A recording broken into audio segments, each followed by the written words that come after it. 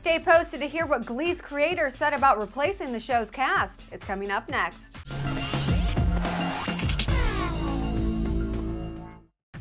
Everyone, thanks for checking out Clevver TV. I'm your host Dana Ward at our Hollywood headquarters. Today we're chatting about the fact that Ryan Murphy spoke out about the possibility of the cast going bye-bye on Glee.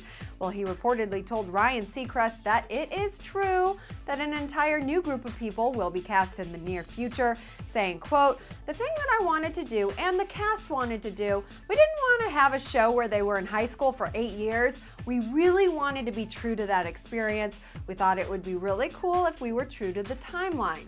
So basically, it's just time for our current class to graduate. Well, technically, at the end of the third season is the time frame. The show's creator also said that he is not thinking of this change in terms of eliminating or replacing, adding that viewers love this oh so talented cast. So Gleeks out there, we want to hear from you. How do you feel about this announcement? Are you dreading graduation time or are you kind of excited to see what the next generation of New Directions has in store for the show?